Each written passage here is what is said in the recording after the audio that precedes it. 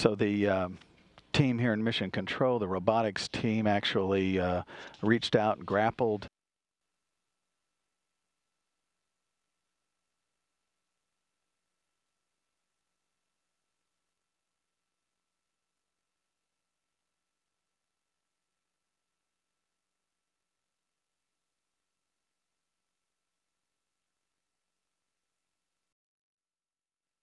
And the first uh, departure burn is armed on the Dragon, uh, ready for the first in that series of departure maneuvers.